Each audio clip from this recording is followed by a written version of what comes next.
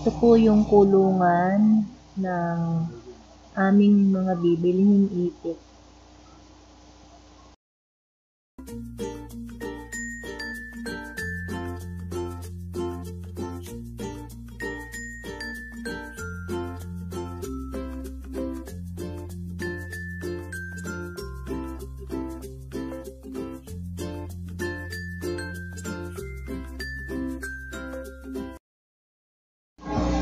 Hello guys! Ayan, excited na po ako. Ito po yung bibilhin namin mga itik. Balak po kasi namin magtayo ng ibang business. Um, ikatry po namin ang pag-iikitan. Ayan sila guys. Uh, pick upin na namin yan mamaya.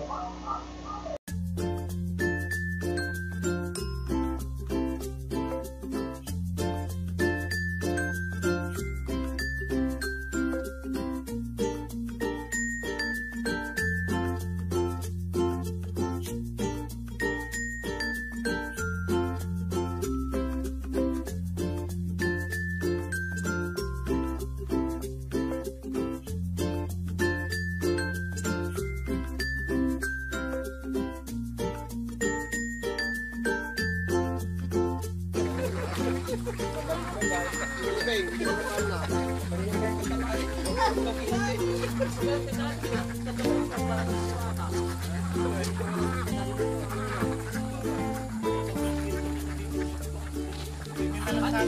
ano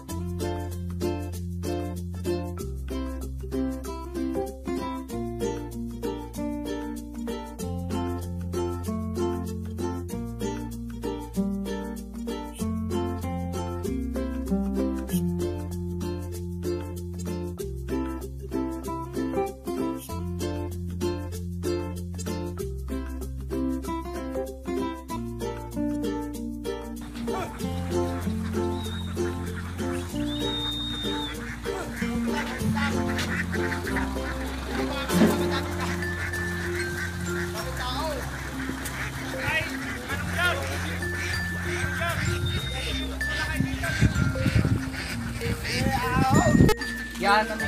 Ano din? Bali, isa-isa na siyang isa-isa na siyang nilalagay dito sa kanyang kulungan para mailipat dun sa aming kulungan ginawa. Tanda, 23 po. 23 yan. Awan ti pap, awan lista. Awan nga raw. Oh, 23 libre.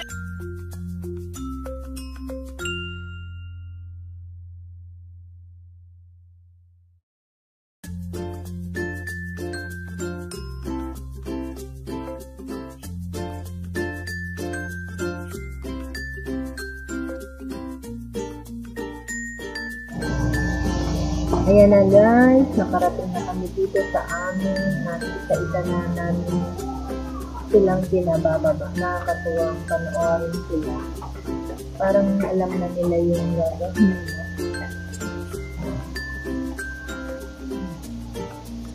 Ang galing lumipad ng iba. Basta sinusundan lang nila yung mga nauna.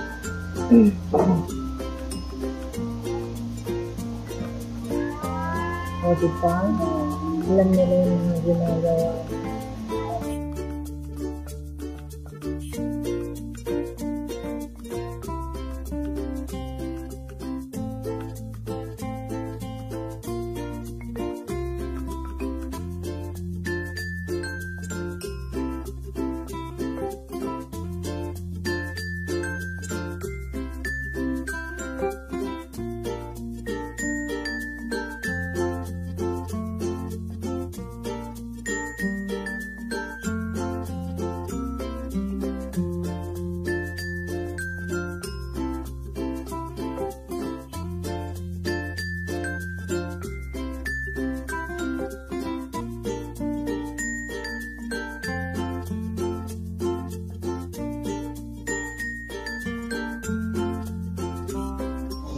Pinababa na namin sila sa ilog.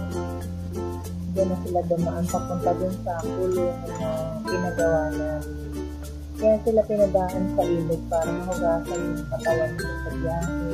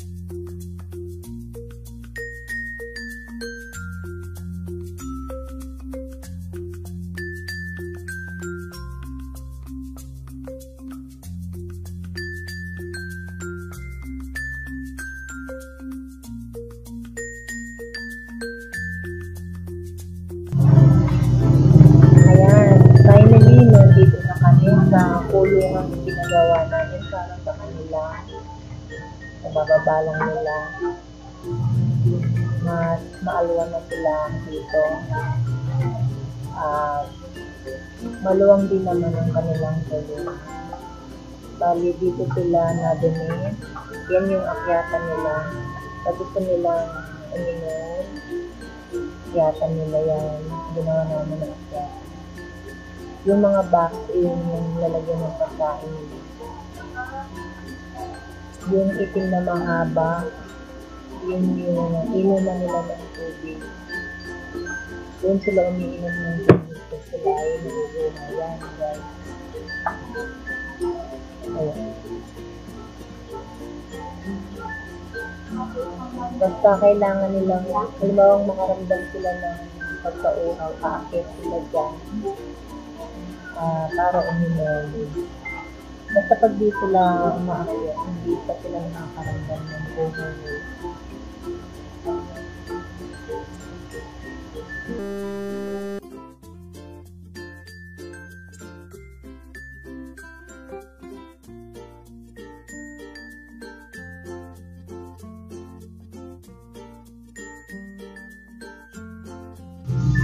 Dito namin sila pinapakain nilalagyan na namin ng madaming patoka. So, sana siyang bumababa. Eh, every time na gutom sila, ay hindi sila mawawala ng pagkain. Thank you.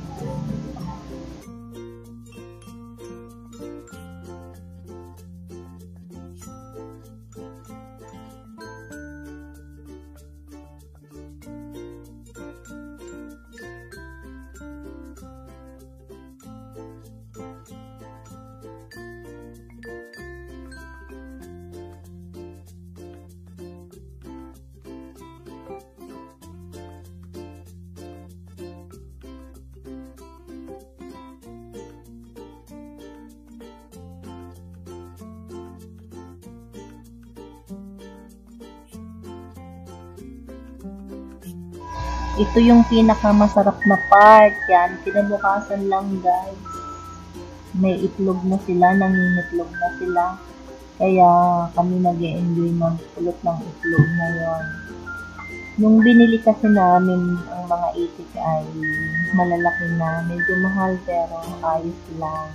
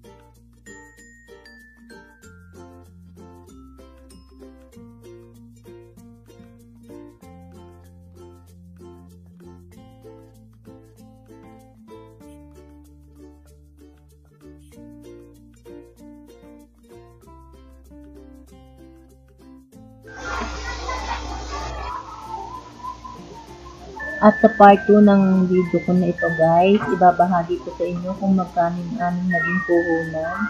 At sasabihin ko rin sa inyo kung ang negosyo ba na ito ay tutubo. Kaya mag-subscribe na kayo sa channel ko at pindutin yung notification bell para sa mga susunod na update.